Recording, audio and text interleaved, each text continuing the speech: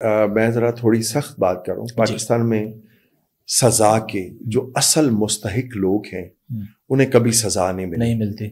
और सज़ा के असल मुस्तक लोग वो भी हैं हम्म। जो सज़ाएँ सुनाते हैं। हम्म। उन्हें भी पाकिस्तान में कभी सज़ा नहीं, नहीं मिलती। ये जो सियासतदान हैं बेचारे चाहे वो नवाज़ शरीफ हो चाहे वो जरदारी हो या इमरान खान हो ये चूँकि साफ़ टारगेट है। हम इन पे तनकीद करते हुए भी हमें बड़ा मज़ा आता है। हम्म। और जो असल बायस तनकीद है जिन पे तनकीद होनी चाहिए हमारे वो क्या कहते हैं ज़ुबानों पे ताले लगे हुए हैं। हम उनके हवाले से बात नहीं कर सकते।